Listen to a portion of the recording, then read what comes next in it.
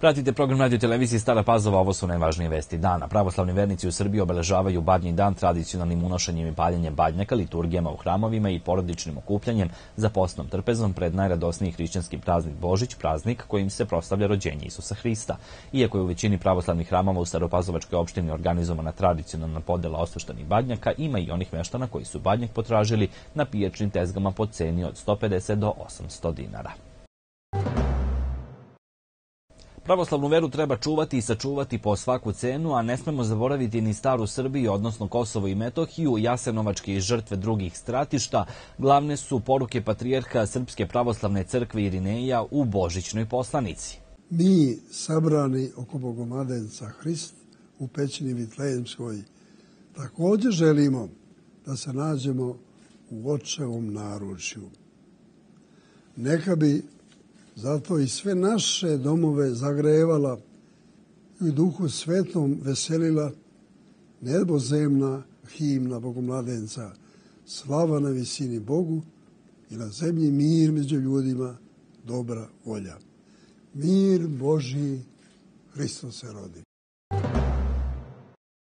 Predsjednik Srbije Aleksandar Vučić, premijerka Srbije Ana Brnabić, predsjednica Narodne skupštine Maja Gojković i drugi državni zvaničnici uputili su čestitke vernicima povodom predstojećih božićnih praznika, a Božić je građanima Staropazovačke opštine čestitao i predsjednik Đorđe Radinović svim građanima naše opštine koji Božić i Novu godinu, Srpsku pravoslavnu Novu godinu očekuju po pravoslavnom kalendaru. Želim puno sreće, zdravlja, uspeha u radu i da i ove godine kao i prethodnih godina Stara Pazova napreduje istim tempom kako je do sada. Pripadnici saobraćene policije u Sremskoj Mitrovici su 31. decembra i 1. januara prilikom kontrole saobraćaja otkrili 38 vozača koji su upravljali vozilima pod uticajem alkohola. Za 8 vozača u stanju teške ili potpune alkoholisanosti određeno je zadržavanje do 12 časova. Saobraćena policija Sremska Mitrovica apeluje na vozače motornih vozila da ne upravljaju vozilima pod dejstvom alkohola kako ne bi ugrozili ni svoju, ani bezbednost drugih učesnika u saobraćaju. Pojačane kontrole saobraćaja nastavit će se i za vreme božićnih praznika i pravoslavne nove godine. Tokom predstojećih božićnih praznika službe, ustanove, javna preduzeća i marketi radit će po izmenjenom rasporedu. Većini je neradni dan 7. januar.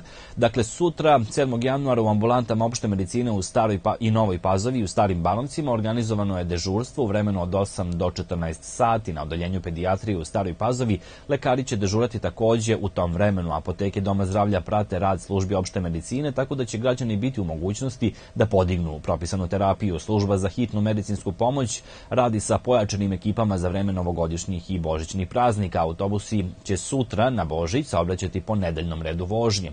Sutra, 7. januara, zbog božićnih praznika, Staropazovačko javno komunalno preduzeće Čistoća neće odnositi smeće po ustaljenom rasporedu. Prvog dana Božića u celoj Srbiji dežuraće samo Beogradska glavna pošta, kao i pošte na administrativnim i graničnim prelazima. Ekspoziture banaka u Staroj Pazovi neće raditi 7. januara. A povodom nastupajućih praznika, opština Stara Pazova i ove godine obezbedila je sredstva za kupovinu paketića za decu i socijalno ugroženih kategorija.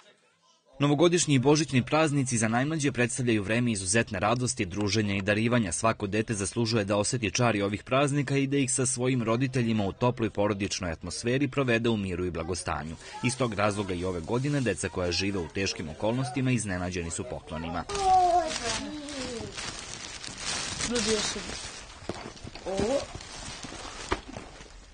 Ovo sam dobio. Ja bih najviše želela da svako dete, kao i ja, provede sa porodicom i divno svoje praznike, Novu godinu i Božić i da svakome bude i sa ovaj i iduća nova godina sve najlepše im želim. Zahvaljujemo se mesnoj zajednici Stara Pazova na paketiću i na gostoprinstvu. Opština Stara Pazova godinama unazad sprovodi praksu da se deci iz porodica koje žive u materijalnoj oskudici i teškim egzistencijalnim uslovima za novogodišnje i božićne praznike obezbede poklon paketići. Lokalna samouprava je i ove, kao i prethodnih godina, nabavila prigodne paketiće za oko hiljadu i po mališana iz socijalno ugroženih porodica, čiji roditelji nisu u mogućnosti da im omoguće prazničnu radost. Želimo da i ta deca dožive tu sreću da jer samim tim što su njihove porodice socijalno ugrožene, znači da njihovi roditelji teško mogu da obezbede deci ovako, a za decu je uvek Božić i Nova godina najveća radost. Paketići su obezbeđeni za decu porodica korisnika pomoći Centra za socijalni rad, decu samohranih roditelja,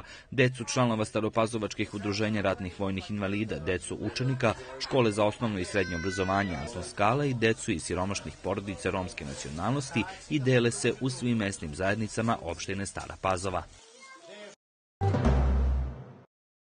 Zahvaljujući uspešno sprovedenoj politici ušteda, koju niz godina unazad praktikuje Staropazovačka lokalna samouprava, a sve u cilju usmeravanja sredstava na socijalne kategorije stanovništva i investicije u infrastrukturu, ove godine građani će za božićne praznike imati niz prazničnih muzičkih događaja. Nakon koncerta Milana Topalovića Topalka, koji je organizovan za doček nove godine, u sredu 8. januara u Novim Banovcima u Školskoj ulici s početkom u 21 sat božićni koncert održat će Zorica Brunslik i Miroljub Aranđelović-Kemiš. Košarkaši Dunava porazom su započeli ovu godinu. Oni su u 14. kolu Košarkaške lige Srbije poraženi u Novom Sadu od ekipe Vojvodine 97-77. Dunav je trenutno deseti na tabeli.